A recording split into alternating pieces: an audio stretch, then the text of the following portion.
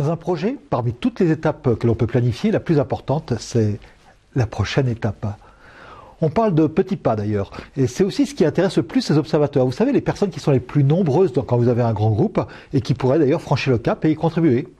D'ailleurs, certains projets peuvent même se limiter à un petit pas simplement s'ils apportent un résultat utile pour ses membres et même parfois pour les autres personnes qui sont extérieures au projet. Je suis Jean-Michel Cornu, spécialiste de la coopération et de l'intelligence collective et aujourd'hui on va voir quelques exemples de petits pas concrets pour un projet. Alors, un petit pas, ça doit d'abord être réalisé lors d'une rencontre, alors elle peut être en présentiel ou en distance, ou alors lors d'un cycle demande-réponse, c'est-à-dire si on envoie à l'ensemble du groupe une demande et on attend une réponse. Et après on va la regrouper. Donc ça va être un moment assez court, assez marqué, assez limité. Et puis il faut aussi que ça apporte un résultat utile et concret. Ça va apporter ce que l'on appelle une ressource au reste du groupe. Alors, quelques exemples de projets très très simples qui peuvent être utiles lorsqu'on lance sa, communauté de projet, par exemple, donc un projet qui ne comporte un seul petit pas. Par exemple, imaginez vous vous réunissez autour du thème du projet et vous décidez de partager vos signets, les bookmarks de votre navigateur avec tous les liens que vous trouvez utiles chacun. Et vous fabriquez un document que vous pouvez structurer un tout petit peu, mais très rapidement. Et en une réunion, vous avez un document avec plein de liens utiles. Vous pouvez aussi identifier quelques questions et puis leurs réponses en un paragraphe, des choses très simples. Et à ce moment-là, vous fabriquez une foire aux questions, une fac, qui pourra ensuite être complétée d'ailleurs d'autres euh, itérations, euh, pourquoi pas. Vous avez aussi la possibilité de découvrir une activité ou de visiter un lieu. Alors ça, c'est ce que l'on peut faire en particulier lorsqu'on fait des, groupes locaux. On va visiter, euh, par exemple, dans ce lieu demain, euh, nous avions visité une forêt, nous avions visité d'ailleurs aussi des, fermes, des, jardins, des maisons fabriquées en paille, etc. Et on a fabriqué aussi à la fois quelques trucs pour, c'est-à-dire un petit document qui permet de savoir ce qui se passe. Alors si vous êtes dans une salle, si vous n'êtes pas en visite, c'est plus facile d'avoir un pad, c'est-à-dire un petit document qui permettent de prendre des notes ensemble très très facilement.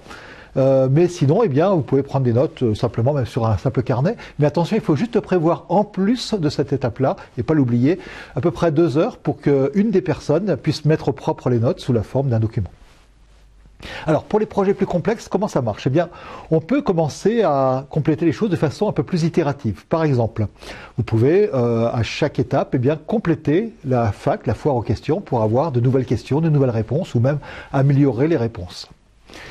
On a vu aussi des débats en intelligence collective, et là on peut envoyer la dernière synthèse.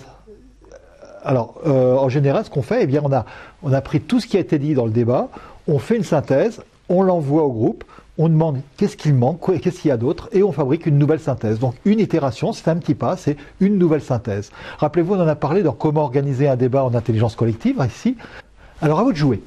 Vous avez plusieurs possibilités. Par exemple, vous souhaitez euh, lancer votre communauté de projet ou réorganiser votre groupe qui est plutôt en étoile sous la forme d'une communauté de projet en réseau. Rappelez-vous, on en a parlé dans le secret pour un grand groupe actif et durable. Dans ce cas-là, eh bien, on a euh, besoin de quelques projets au départ, mais pas la peine de faire des grosses choses. Donc, on va avoir notre communauté et dedans, on va y mettre deux ou trois projets très simples et qui vont vous permettre de démarrer le moteur et après d'avoir d'autres personnes qui ont envie de lancer des projets. Donc, pas la peine de se lancer dans des projets très compliqués au départ, mais juste des petites choses comme des exemples que l'on a vu. Puis si vous animez un projet, alors euh, à ce moment-là, eh bien, comment pouvez-vous le décomposer en petits pas, donc en petites étapes? À vous de jouer, donc essayez de regarder tout ça. Et comme d'habitude, commentez, abonnez-vous avec la petite cloche pour être prévenu des prochaines vidéos, likez. Et vous pouvez télécharger le guide de l'animateur une heure par semaine pour animer une grande communauté. Et je vous donne rendez-vous la semaine prochaine pour un nouveau truc d'animation.